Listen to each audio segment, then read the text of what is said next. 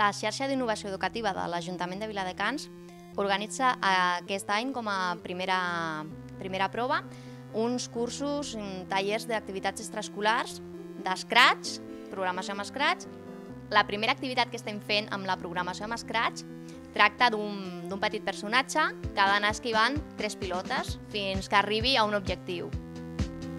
Estic fent un joc en, l'Scratch L'Scratch és, un, és un, com una activitat que podem fer per, perquè aprenem a programar.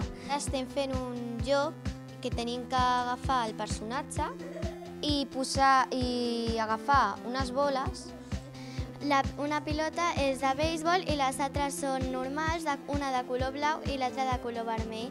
Consisteix en que el meu alienígena ha d'anar esquivant les pilotes fins a la Magdalena que jo li he posat de premi. Aquesta és la que tens que arribar al plat de menjar. Aquest és l'objectiu principal.